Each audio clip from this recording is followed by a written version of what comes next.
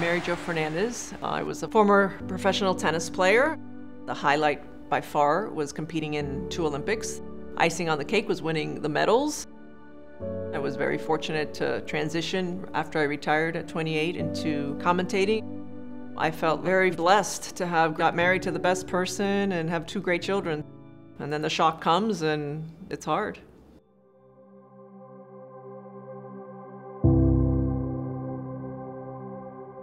The nurse called, it was like, hi, your results are in. You have two tumors that are breast cancer.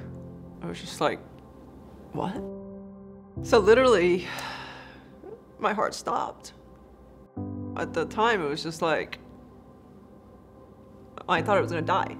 I remember right away hugging her and saying, look, everything's gonna be okay. We're gonna figure everything out. You're gonna get the best care.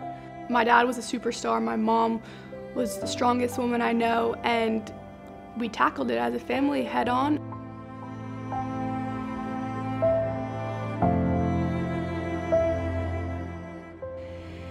He said Mary Joe has breast cancer. And then after the initial shock, I said to her, that's okay, guess what? I have the Roger Federer of breast cancer surgeons. Five minutes later, Dr. Port calls on Thanksgiving. She's like, Tony, I want to see Mary Joe. I'd love for you to come to New York for a second opinion. That phone call was about making sure they knew that all they had to do was show up and we were going to take it from there. We got to the Dubin Breast Center and Dr. Port really made you feel like, okay, I'm the general here. I've got my whole team here. We're going to make you feel comfortable. She gave me so much confidence. I looked at Tony, I go, I don't need to go anywhere else. This is where I'm going to be. I remember her saying specifically, no matter what comes our way, we're going to handle it.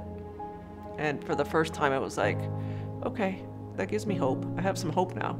And Dr. Dubin was a godsend. I was able to help her because I had experienced something very similar, similar type of breast cancer, similar type of treatment, mothers of teenagers. So we just connected and has stayed friends since then. She literally gave me play-by-play of what was coming my way. And she would check in and and just reassure me, and it made a huge difference. I did my part to deliver the best surgery she could get. And then what we do is we sort of hand the baton to her medical oncologist. And of course, we have the most cutting edge advanced care to give her the best chance.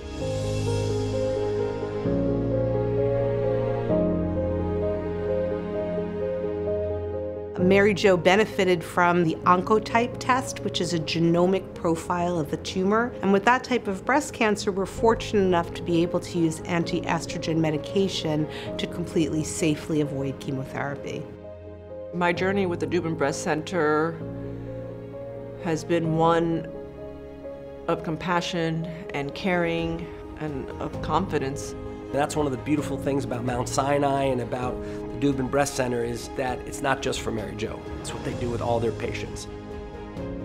The Dubin Breast Center surprised me in how they just try to take care of the little things and the details and just try to make it as comforting and as soothing as possible. They really have mastered how to make a really difficult time in, in a woman's life to something that they can get through and have hope. Here she is five years later in perfect health and never missed a beat. The Dubin Center saved my mom's life and we are super lucky and thankful that they were there for her. I don't know if words can really describe how grateful our family is for it. And it provided hope and it instilled strength and we'll be forever grateful. And Mary Joe demonstrated the same grit, strength, and courage that she exemplified throughout her tennis career as she did during her battle against breast cancer. We honor our patients because of the courage that they show, and sometimes they are in a position where they can elevate the awareness of breast cancer. It's so inspirational, and you're going to inspire so many other people. Mary Joe, congratulations on your honor this evening. Mary Joe, you are a portrait of strength and grace.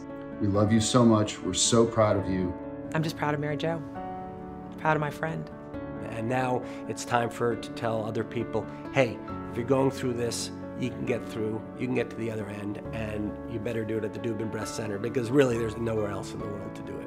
Early detection does save lives, and she's an incredible role model for that. I'm hoping that by sharing my story, others, even if it's one person, will make that choice to, to call the Dubin Breast Center. I think the Dubin Center should be celebrated every day, honestly. What they do on a daily basis is, is remarkable, it's incredible. They should be celebrated every day, not just once a year.